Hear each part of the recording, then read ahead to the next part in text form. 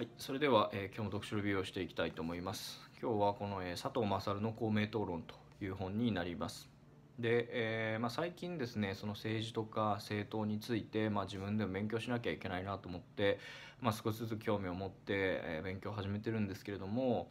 まあえま手始めとして、えこの本を手に取って、ま読んでみました。で内容としてはですねえーまあ、公明党の活動に対して、まあ、この佐藤勝さんが、まあ、比較的、えー、良いイメージというかですね一定の理解を、まあ、示しているんだなということが、まあ、分かる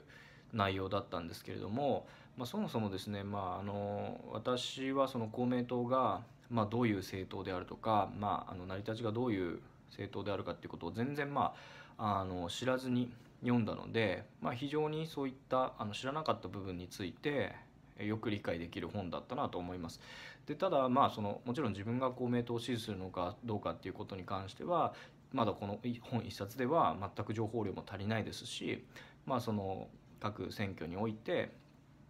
えーまあ、各党が示す方針っていうのを、まあ、これからまあよりちゃんと聞いていかなきゃいけないなというふうには思ってます。ただまあその話を聞く前提としてまあ政党としてどういうスタンスなのかっていうのが分かったという意味ではまあ良かったかなと思います。で、まあ、中身としてはですねこれ恥ずかしながら全然知らなかったんですけれども、まあ、公明党っていうのはあの創価学会の、えー、会長である池田大作さんか大作大作ちょっと分かんないですけどあの池田さんがまあ作った党であるっていうのを、まあ、これまで全く知らなかったので、まあ、そういう意味ではそれが分かっただけでまあそうなんだって非常に勉強になりました。で、えーと、公明党のもちろん支持母体が創価学会であるということは分かったんですけどもやっぱりその党を決闘した人が、えー、まあ、そういう宗教団体のトップであるっていうのには多分大きな意味があってやっぱりその宗教団体が何を考えてるかっていうこととはちょっと別としてやはりその宗教っていうものをベースにして政党を展開したっていうことにはあの、まあ、深い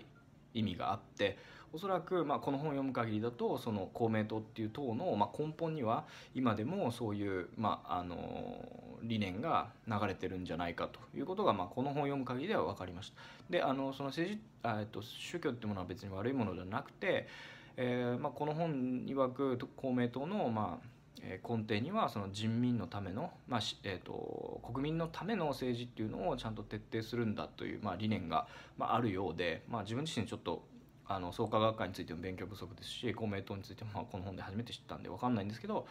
まあ、それはあの理念としては賛成だなというふうに思います。で自分もまあその宗教とか、えーまあ、信仰についてあのある程度勉強してるんですけども、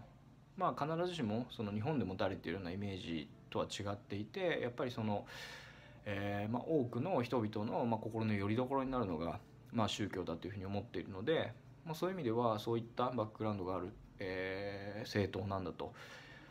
あのそういう意味では私もあのこの本を読みながら好感を持って、えー、読み終えました。でまあ細かい内容はちょっとあの勉強不足で分かんないとこもあるんで、まあ、これぐらいにするんですけどこの本も,、ま、もう一個面白い点があって、えーと、こっちから読むと日本語なんですけれども全文英訳付きっていうふうに書いてあって実はこっち側から読むと、えー、全部英語で書いてあります。でちょっとチェックしてないんですけどあの多分内容はそのタイトルとか見るとあの目次見ると一緒なんで、まあ、おそらく、えー、全部同じ内容が英語で書かれていますでちょっと佐藤さんのバックグラウンド外交官を得られてたっていうぐらいしか確か知らないのであのなんでこういう英語もあの一緒に書いてあるのか分かんないんですけど日本語のページだけで言うと130ページ。結構読みやすい本です。でもう文字もスカスカなんで